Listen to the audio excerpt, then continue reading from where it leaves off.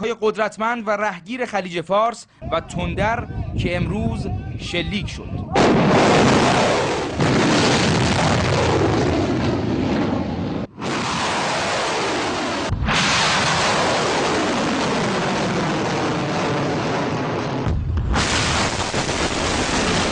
هدفی رو که امروز استفاده کردیم یک دهم سطح مقطع اهداف شناوری بزرگ مثل ناو و هواپیمابر رو داشت. با عملیاتی شدن این موشک ها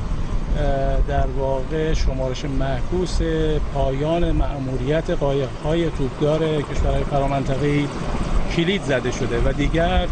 این نوع شناورها در منطقه خلیج فارس بجز هزینه چیز دیگری رو و خاصیت دیگری رو برای کشورهای دارای قدرت نخواهد